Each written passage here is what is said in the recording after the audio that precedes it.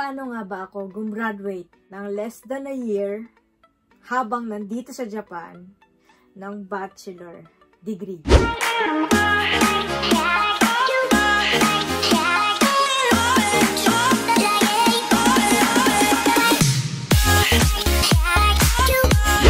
Hello mga beshi! Welcome back again with another vlog. So for today's video, finally, yan, nag-film na natin. Paano nga ba ako gumraduate ng less than a year habang nandito ako sa Japan and through online lang mga beshi? Pag-uusapan natin ngayon kung paano nga ba. This is based on my experience mga beshi and ano nga ba ang ETF program. Mahaba po yung ibig sabihin ng ETF mga beshi. So, ang ibig sabihin po nun is Expanded Tertiary Education Equivalency and Accreditation Program. Ang haba, ba? So, ETF na lang po. ETF na lang po ang tawag natin. Okay. Itong ETF na ito mga beshi is under po siya ng CHED. Yes. And kapag nakapag kapag nakagraduate ka nito, is same po siya sa 4-year course. Yung nag-attend na 4-year course, same lang po sila dito sa ETF program. So, ano nga ba? Sino-sino nga ba yung mga qualified? Ano nga ba yung qualification bago ka makapasok sa program na ito? Kasi mga beshi, hindi po madaling pumasok o makakuha sa program na ito. Kasi pili lang po siya. Okay? uh, mag-a-apply ka muna bago ka mag-aral. Kasi po, di ba, pag sa mga 4-year course na mag-a-attend ka talaga is mga fresh graduate ng high school. Yan sila. So, ang mga qualification po, mga beshi, is must be Filipino. And then, at least high school graduate. And dapat meron po kayong 5 years experience. Experience related sa course na gusto nyo pong kunin. Example sa akin. I've been in sales industry about 7 years. 7 years sa akin, pero 5 years pwede na. 7 years sa akin. And then, yung 7 years na yon dapat meron po kayong COE na mapapakita sa kanila. Kasi kung wala po kayong COE na mapapakita sa kanila, paano nyo po mapapatunayan na nakapagtrabaho po kayo sa company na yon? Diba po? Must be 22 years old. Dati po kasi 25, i-short na po nila yung age. Dati po kasi 25 years old. Ngayon po, 22 years old po. Pwede na po makapasok sa ETF program. Ano-ano nga ba yung mga requirements, mga beshi? Ano ko digo?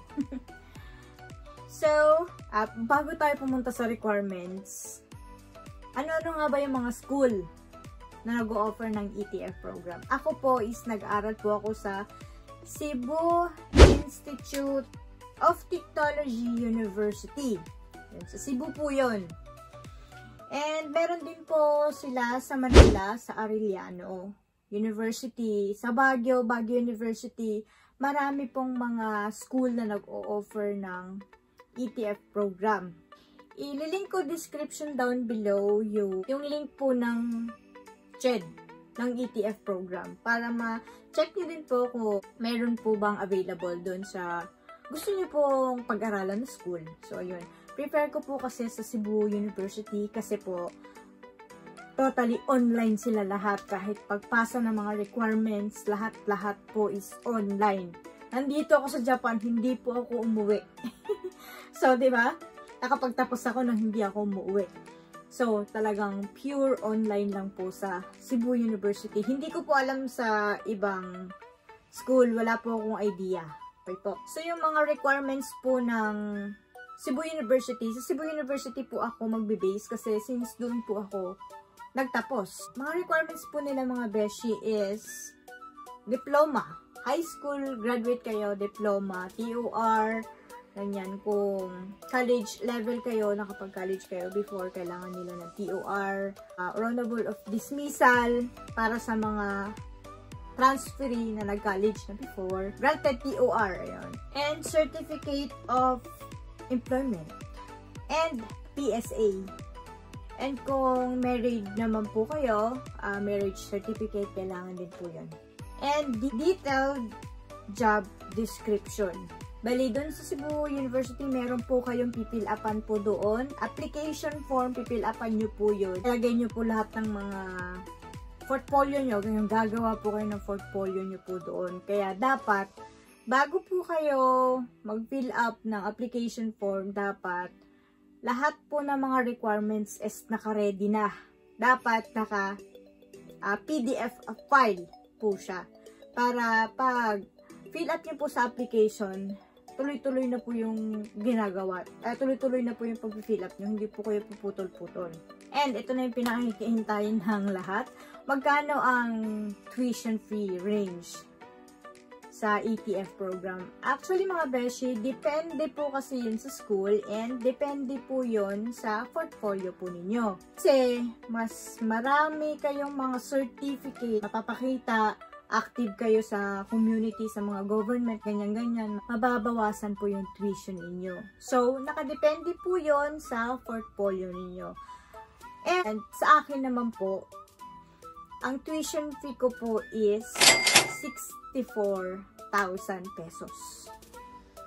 Bakit 64,000 pesos? Kasi po, nakapag-college na po ako before. Hanggang second year po ako ang dati ko po kasing course is same sa course na natapos ko ngayon. Which is BSBA, Major in Management. Same lang, same lang yung kinuha ko. Para lahat ng mga dati kong subject, makredit siya. So, yun. And gusto ko rin naman po makapagtapos ng business administration kasi po uh, linya ko na po talaga ang pag-business. Gusto ko yung kurso na yan talaga. Pero dati, nung nag-aaral ako dun sa Davao, ayoko siya. Pero ngayon, I decided na yun na yung itatapusin ko kasi related siya sa mga ginagawa natin ngayon ng mga businesses. Okay. So, yun. Uh, depende din po kung marami kayong certificate. For example, sa akin, nagkaroon ako ng certificate may nagkaroon ako ng award sa dati kong trabaho na yung nag-top 1 sales ako sa company na yon nasali siya. Na-credit siya mga beshi, na-credit siya. Na-credit siya sa marketing management. Na-credit siya.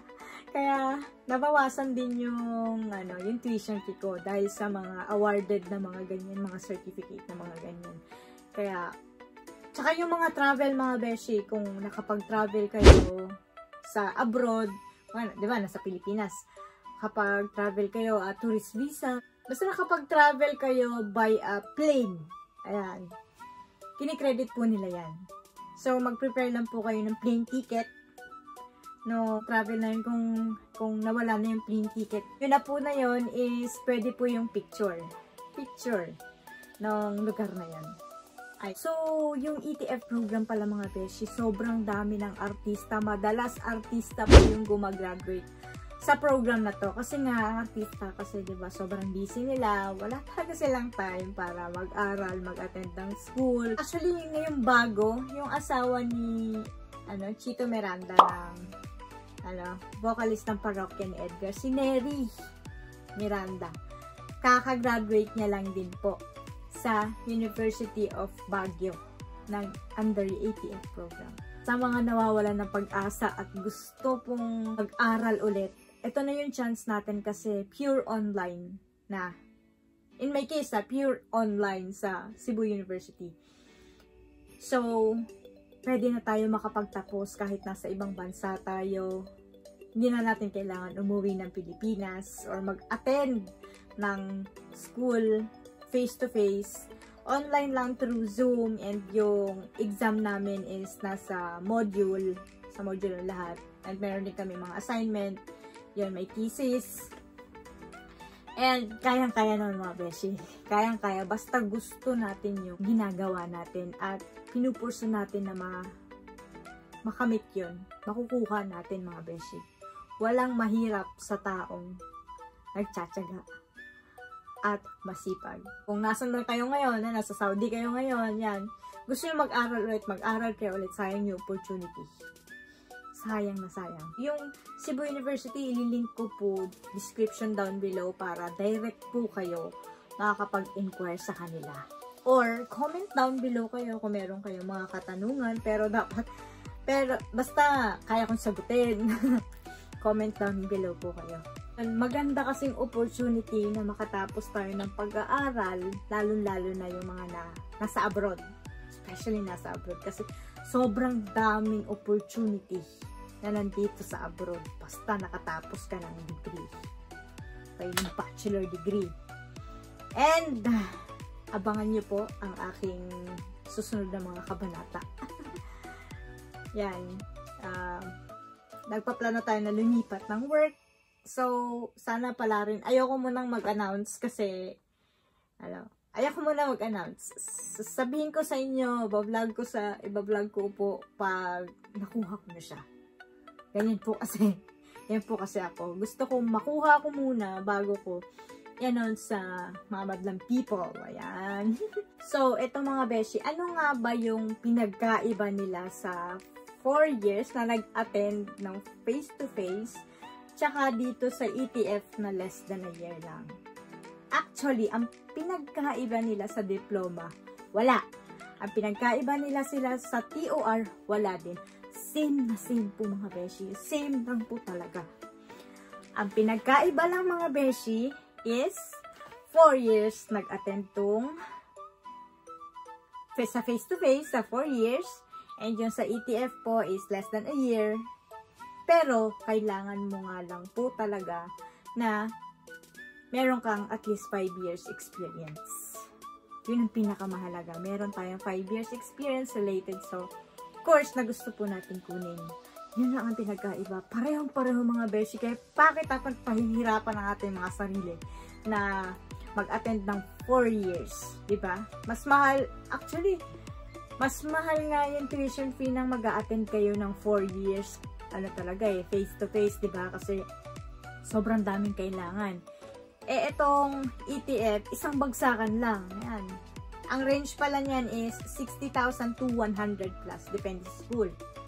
Isang bagsakan lang, yan. Tuition fee, bagsak agad. Yun nga lang po yung, ano, kailangan talaga natin na medyo malaki-laking pera para pang tuition natin. And sulit na sulit mga beshi pag nakapatag, naka, nakatapos tayo ng pag-aaral. Siyempre mga beshi. Meron kayong mga katanungan, comment down below lang po kayo kung meron ako mga nakaligtaan na mga informasyon. Yan. Comment down below and don't forget to subscribe to my channel for more videos dito sa Japan. Yes! And kung meron kayong request a video, comment nyo lang mga beshi. So yung mga beshi, dito ko na i-end ang aking vlog. Maraming salamat sa lahat ng mga sumusuporta sa aking vlog. Maraming salamat po. Na, pal na andyan kayo palagi. Comment down below kayo kahit ano, magkumustahan tayo. So, and like nyo na rin. So, dito ko na i-end ang aking vlog. Maraming salamat sa lahat. See you again next time mga beshi. Bye!